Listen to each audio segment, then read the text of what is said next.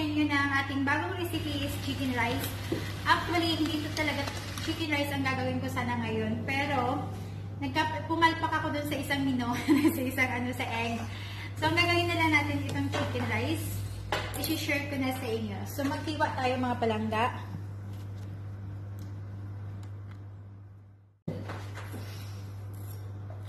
So, dito muna tayo maghihiwa sa ating ano guys, bell paper. Laypans. So, nahugasan ko na to.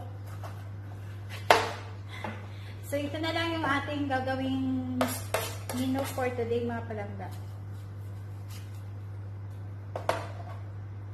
Wala eh, napalpak ako eh.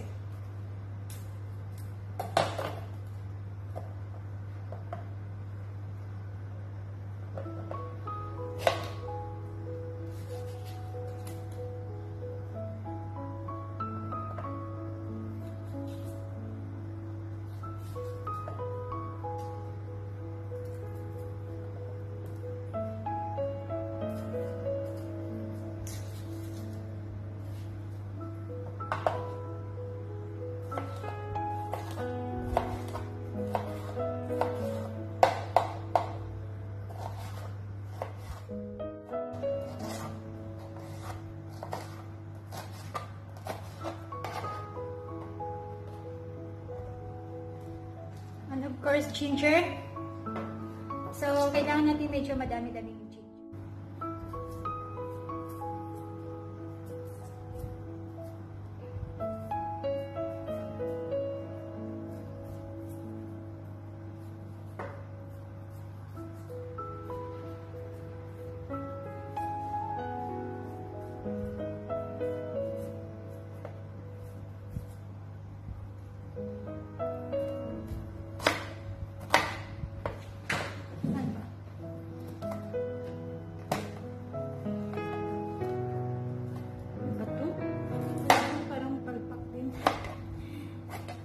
pala yun guys. So, hiwa lang siya na maliliit.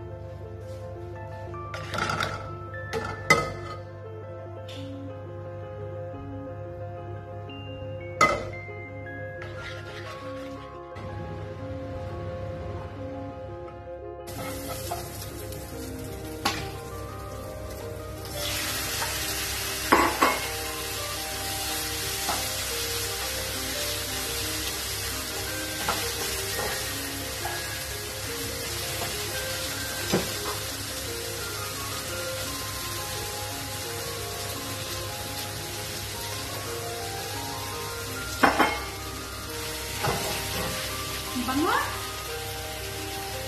Grabe ang bango. Ang bango ng ginger.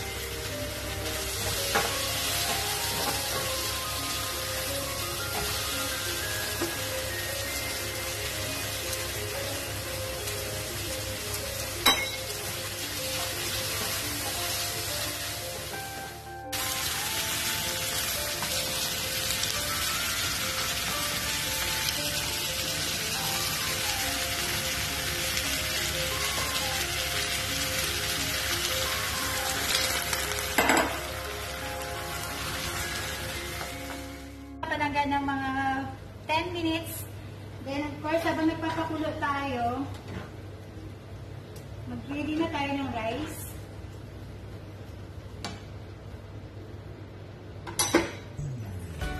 So, pakuluan ko muna.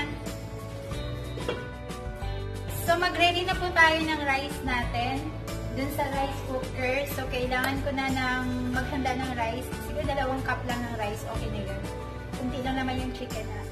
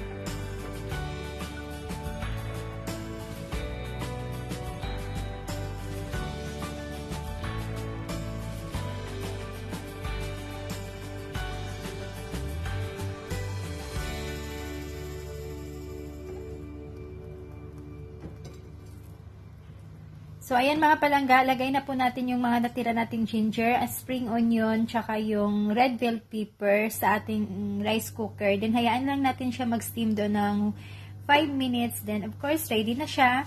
Pwede na po nating ihain yung ating chicken rice, mga palangga. So, pag naglagay po kayo ng tubig sa kan sa rice, mga palangga, pag nagsaing kayo, wag masyadong madami. Parang kunti lang siya. Saktong, parang ano siya, parang ma-half cook lang yung rice. Kasi may sauce po yung chicken. So, yun po yung magluluto ng rice sa pang last part po. So, ayan na po yung ating chicken rice, mga palangga. So, sana po nagustuhan nyo. Napaka-simple lang po siya at saka napakasarap po. Try nyo po. Kung wala po kayo, kung pwede rin siyang ano, yung sa pa, pot ba yun? Yun, pwede nyo din ilagay doon instead of rice cooker. Kung meron kayong pot, pot ba yung tawag doon? Basta, yun na yun. so, ayan mga palangga, thank you so much sa inyo lahat ha. Sana magustuhan nyo.